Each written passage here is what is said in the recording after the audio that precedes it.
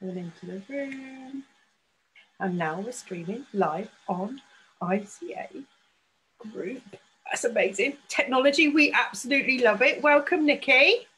Hello. we're all going to be chilled. We'll have a bit of a laugh today. So we are ICA TV and we are um, coming to the group here and we will be sharing it out on YouTube and on the page here to help and support business women in their in their growth of their business. So today, as we said, Nikki is here, um, looking amazing. I love your top. Love your little logo. Thank you. yeah, so tell me the name of your business and what it does. Okay, so uh, my business is called Pasture Perfect. Um, I'm I'm a farmer and um, we farm 72 acres. It's, it's a small farm um, up in um, Carmarthenshire in West Wales. Um, we're about 260 metres above sea level, so we do have some exposure issues um, and it's also very wet. But that aside, we produce, the land grows the most beautiful grass and so we are able to produce 100% grass-fed beef um, and I also produce um, pork, bacon, and sausages, and we retail those direct to the public. So that's our business. Um, it's the production of carefully, naturally reared meat, um, which we directly sell. Wow. So you actually know all your animals, and that's what we're saying. You know who they are. Yeah. You know if they're okay. You know if they're a little bit under the weather. You can care for them directly. Yeah, absolutely absolutely. Awesome. awesome. So when you say, how many acres do you say? 72 acres. 72. With our, our layman head here, right, can't see 72 acres. How big is that?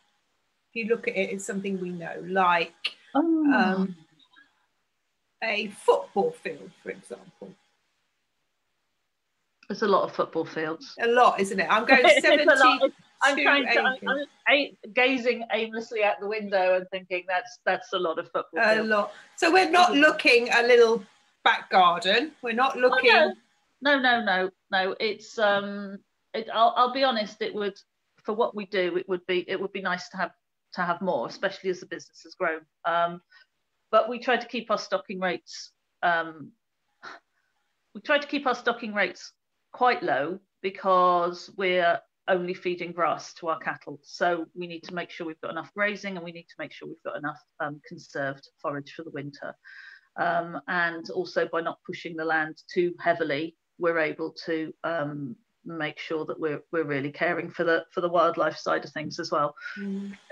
That's all very integral to, to, to what we do here. And we know we've got the balance right at the moment. We've got top predators like barn owls and short-eared owls and um, red kites and buzzards. And so if you've got those, then you know you've got everything else further down the food chain is is there for them. And and it's all about keeping that right. That's an important part for us. Yeah, there, there has been a lot of press out there. I'd like to touch on it a little bit about mm. the fact that um, you know this veganish thing that's going on. People have a choice whether we eat meat. We have a choice. We have um, the fact that we can live on was it keto diets which is no carb you know there's so many things out there that mm. we can choose to do and yeah. i think we, we all have that choice um, but also i find the challenge is when people um, are unkind to producers mm. about you know we have the choice of um, being a meat we eat meat you know we eat quality meat and we support local as you know but actually to be able to have that choice without it being um, told that we're being wrong yes it is is is quite upsetting hmm. you know um, and as we and yourself are rural we do support locally um, so what would you say to people who want to eat meat um, but want to eat quality meat but are sort of like stuck in a town or a city or something like that okay i would um, I think with with with meat, especially, I mean, I, am with all my food. I'm quite keen on on provenance. Um, I like to know where it's come from. I like to know, ideally, who's produced it, how it's been produced. Um, but I appreciate if you're in the middle of a city, that's possibly not so easy. Um, try and find out what's available in your local area. Find out if you've got um, any for instance, there's various sustainable um, cooperatives out there um, that are now, well, they're springing up all over the place, which is fabulous. So really local, local seasonal sustainable food, in, in my opinion, is where, it, where it's at. You're, you're hearing more of it all, all around. If you can't get meat from direct from a farm where you know how it's been reared and you can ask questions, your next best really is to go into your local butcher. But when you go in there, ask, ask questions. Where's this meat come from? And a bit like us, they like an interested consumer. They like someone who who, who wants to know. Um, the real advantage with your butcher is your butcher is a, a very skilled individual. They um, they can advise you on on on all the cooking, different different cuts, what might suit you best. I think they're a very very underused resource. So if you're stuck in and, and you can't you can't source direct from the farm, get get into your local butcher. Um, I, I feel very strongly that that meat in supermarkets is not really it's not where it should be. T- to me, meat is far too important to be in a faceless refrigerated chiller unit in a supermarket. It's it's no. I, I just I just find and I appreciate for some people that's that's all they can go for. And it's like a lot of well, it's like everything, it's choice, isn't it? We're all we can all choose what we eat, where we buy it, how we do it. But if you're at all interested in what you're eating and where it's come from, um, it's it's really it's it's a really good thing to be able to ask to ask questions. And it's your smaller producers, it's your local butcher, it's your farmers that will be able to answer that for you. Mm. So yeah, I'm I'm a big believer in get, getting getting everyone back to to knowing where their foods come from and, and connecting. And, and it's one of the reasons why we took part in Open Farm Sunday. We've, we've done about five years of Open Farm Sunday. It's run by an organisation called LEAF, which is Linking Environment and Farming. Um, they're a, a, a fabulous organisation and they have a mission once a year on Open Farm Sunday to get as many people who wouldn't normally go onto a farm onto a farm and it's like a, a nationwide um, open day. So you've got farmers up and down the country, lots of different kinds of farms opening up and just connecting with people and and and giving people a day out and and explaining how how how their food is produced and and I actually think especially at this time 2020 has been one heck of a year. Everything seems to be changing in the way people think about food and the environment. Really really find the facts and you can find your facts from the people who are actually growing your food. So in in essence it's ask a farmer and open farm sunday gives a fabulous opportunity for people to do that. I, I think part of you know my world has been as you know farming i've been my dad was a farm labourer so i brought up a few calves in my time which is a few things and i've also chased my mum a few times with a few mice um, across the times that she remembers very vividly when I was little. Um, so I understand, but some people feel that actually it might be the fact that you're un, unapproachable because you know you're might be a big farm. You know, you might not know actually who who is the owner farmer. Are we just seeing people in tractors, or actually do we not see a farm? We might be in the middle of London, or mm. or you know somewhere like that. So how would we get in touch with you? Is it like a simple phone call? Um, well, there's there's for us now. Um, we've got our Pasture Perfect page um, on Facebook, and um, if you'd like to follow us, that would be lovely. We'd love to love to see you. Um, we've also got a group, um, so that's got various. That's got a little bit more in depth as to as to what we're doing on the farm, um, and it's a it's a really easy way to keep in contact. Um, for Open Farm Sunday now, then there'll be a, a national website. Um, so it's if you actually if you Google Leaf L E A F, um, that will will throw up the Open Farm Sunday link, and you can actually just type your postcode in and see where the farms that are nearest to you are are open. So cool. it's a it's a heck of a it's a heck of an organisation. It's it's it's good. But yeah, find us on Facebook. That's the best way. And um, yeah, that's that's primarily we're, we're we're quite we're quite out of we're quite off the beaten track if I'm honest. So um, yeah, Facebook, Facebook and Messenger, always good. Awesome. Well, if you pop over the link, as we're saying with everyone, I'll pop that. I'll pop that. I'll pop that everywhere. I'll put that everywhere, and I'll put it on the link, and so people can get in contact if they want to know more about their food and where where things are produced and how they can get involved with um, the seasonal side of things as well. Yeah. Awesome, awesome. So next, let's talk about an ideal client of yours. Okay. Okay. Who is so, it? So an ideal client for me would be somebody who is interested in where their food's coming from. So they like they like quality food. They like to know where it's come from, and they like to have um, they like to, they like to have I would say a full freezer, but they like to have stocks in their freezer. So um, for us now, because we sell we sell packs, um, I also have to sell smaller quantities as well, but we do generally sell sell the packs. Um, so yeah, it's someone who's who's looking for that link, that traceability, um, and we have there there are people. When I look at our customer base,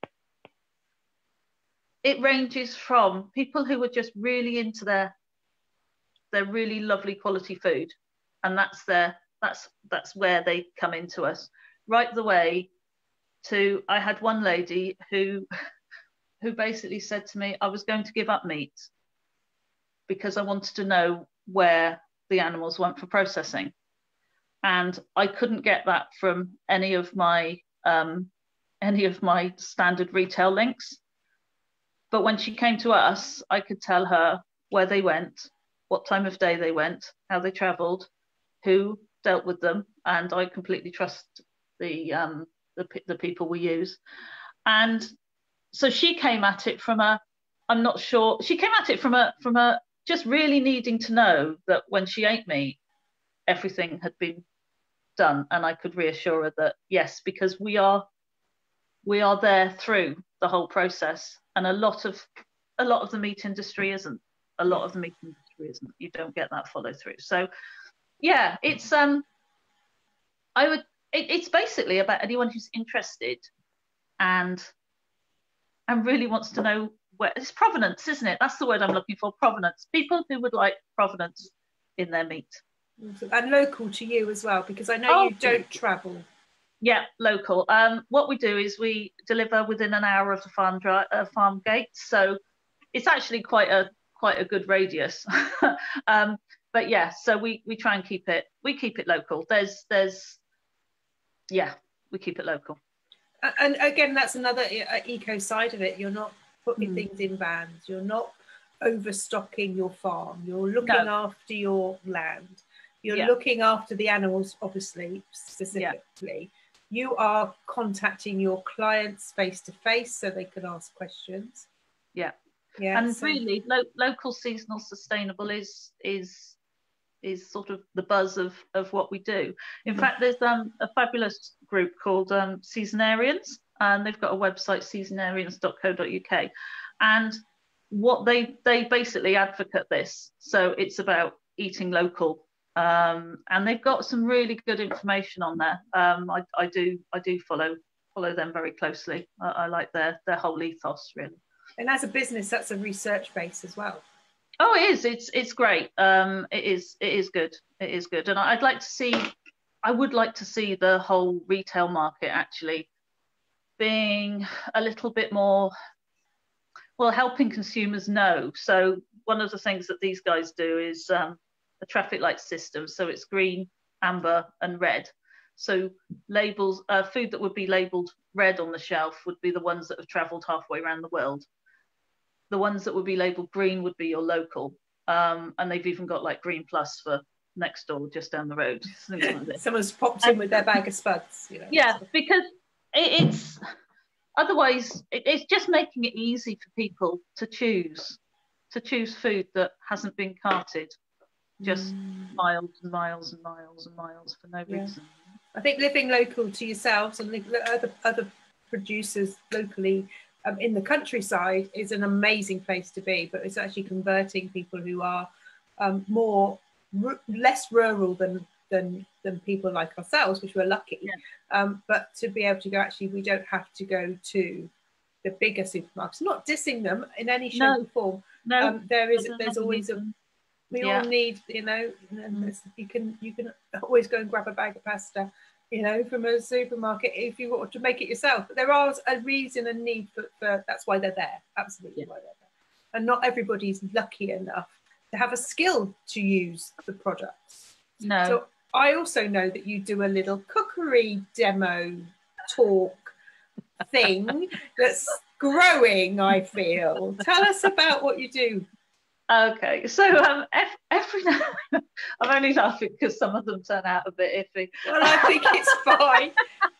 You know, and that's lifetime, babe. That's real life. so, so um, yeah, every now every now and again, um, we we have a little bit of a a, a very simple um, cooking demo in my kitchen.